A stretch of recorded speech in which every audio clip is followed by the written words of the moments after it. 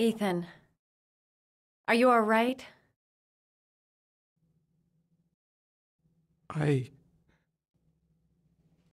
I killed a man. I had no choice. I had no choice. You're not the origami killer, Ethan.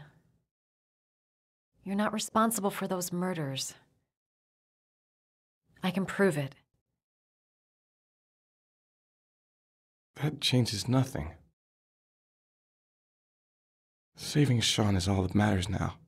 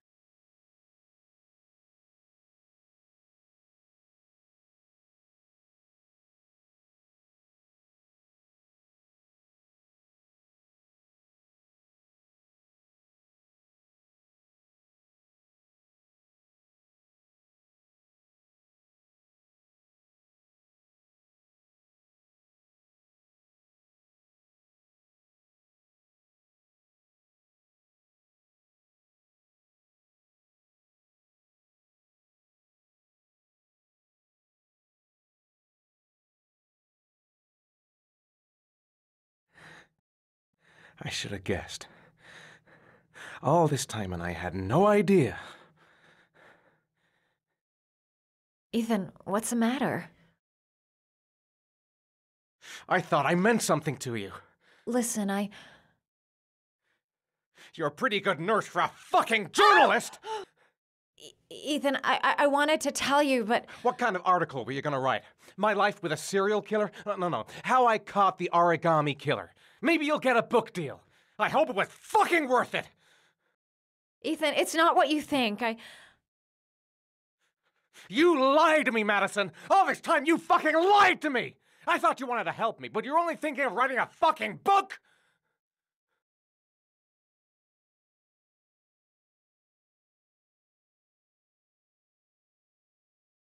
It's true. I'm a journalist. And I knew that you were the father of the boy who had disappeared, and. And I wanted to cover the story. But then I saw what you were going through to save your son. And.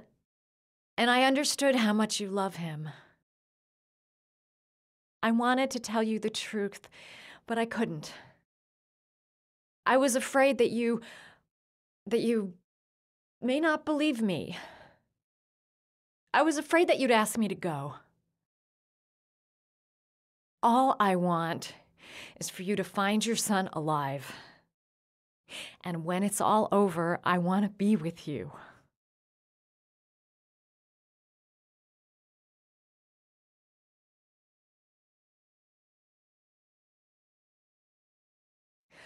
I'm sorry, Ethan. I'm so sorry.